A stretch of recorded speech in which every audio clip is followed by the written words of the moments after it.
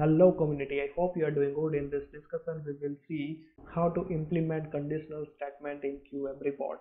And in case you missed previous discussion about how to implement t-tags, t-desk field, t-desk esc and t-desk out tags, please check link is given in the description. And if you want to learn more about Odoo with different topics, you can visit the playlist. You can see here Odoo development and different playlists available with different topic wise and real test cases if you need any support related odoo you can visit the about page and you can send your query to this email address. And source code also available in the github. We have some social media pages. Make sure you can follow and don't subscribe to this channel to get the latest notification. So let's back to our main topic like how to implement conditional statements in the QWeb right? So previously we learned about how to print fields the model the fields in the QWeb report right? So today we will see how to add conditional statement in this QWeb report. Alright so here in the QWeb report we must have to walk around in the template right? We have to call some external templates as well as we saw how to use this one right? To print this one. Now let's say uh, let me comment this part. Oh sorry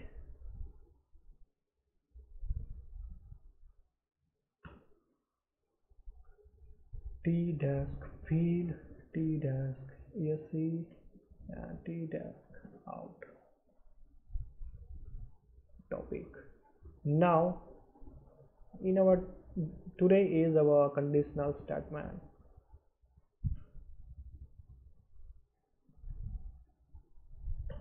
Right the if condition. So how we can write in the python side if condition tab and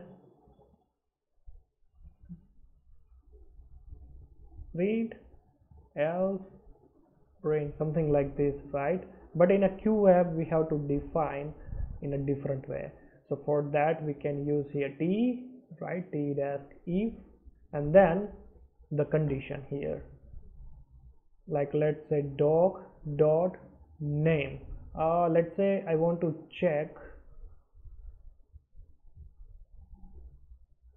Let's say I want to check whether this record set is Sitaraman or not right? So for that like I will use here doc dot name then after the name is the student name right? And then after I will use here as a Sitaraman right? So this is my simple condition and I will add here a new a statement different statement. So for that like I will use p tag right? And here I will add yes. This is Sita Raman. Alright. So let me upgrade the module first. So this is our if condition right? So as a t tag we have to use then after t dash if as a condition we have to apply here and then after in a double quote we have to mention the condition and then after you can add here anything. All right?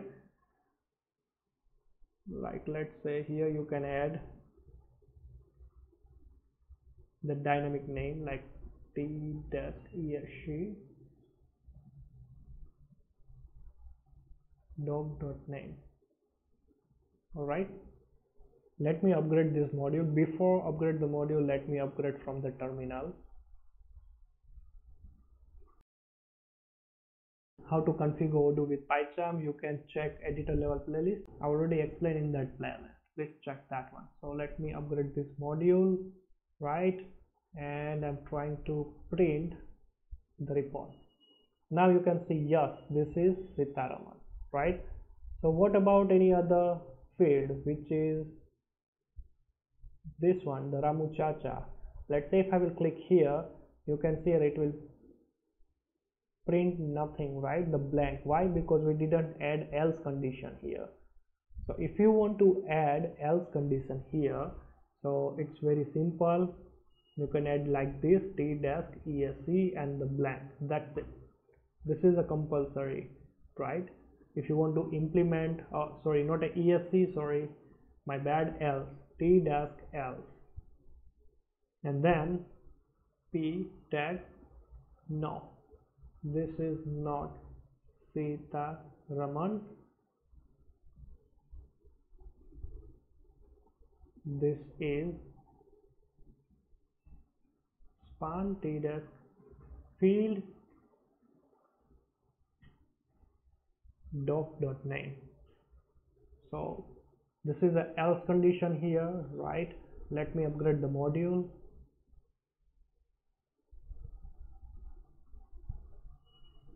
and now I will try to print this record one more time. Now you can see no this is not a Sitaraman this is Ramu Chacha. Alright now let's say I'm going to again in Sitaraman. Now you can see. Yeah this is Sitaraman.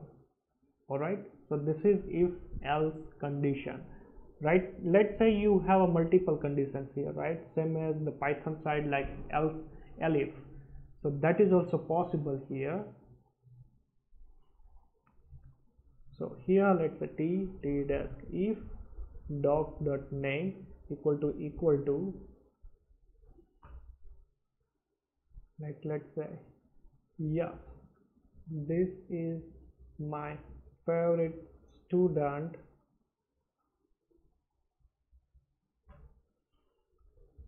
Span tdesk field doc dot name.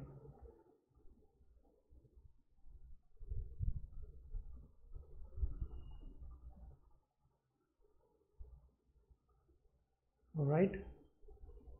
So here we have to mention not if but elif same as the python but before prefix should be the t dash like this. Alright and here let me add a Ramu Chacha or let's say Jethalal yeah Jethalal, Jethalal is the good one. Uh, let me upgrade the module. Right. And let's say I'm trying to print this car this report. Now you can see yes this is my favorite student Jethalal alright. So it's executed. This elif condition here.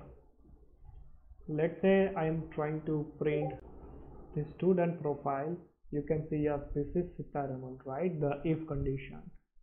Let's say I'm trying to print this Ramu. You can see this is print.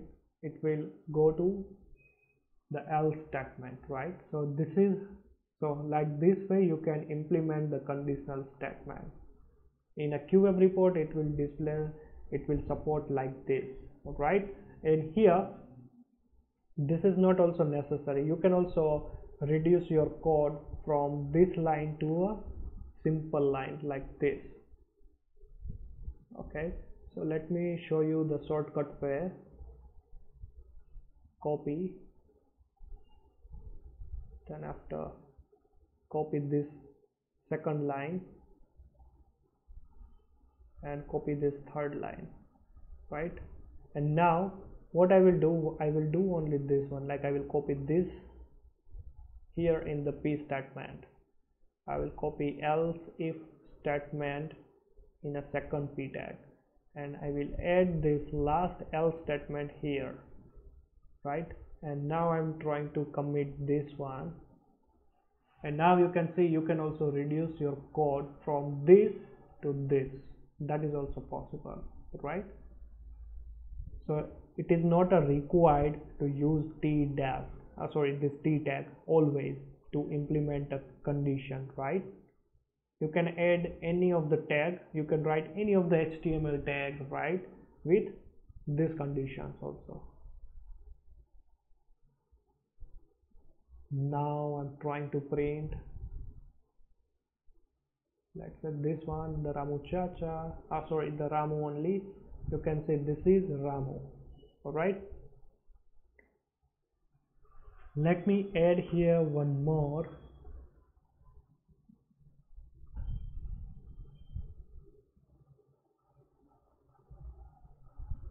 This statement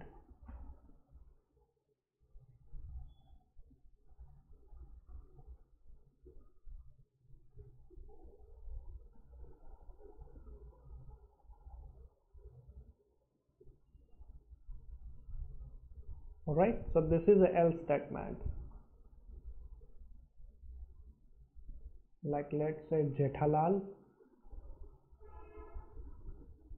You can see else if condition and the Sitaraman means if condition.